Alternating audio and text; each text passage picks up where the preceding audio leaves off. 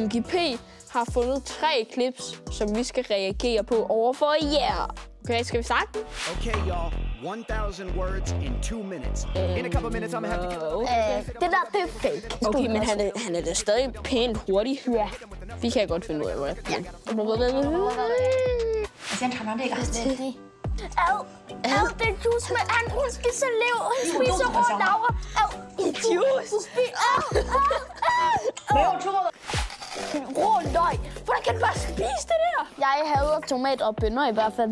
Jeg vil hellere spise tomater end det der, fordi tomater æder. Ja.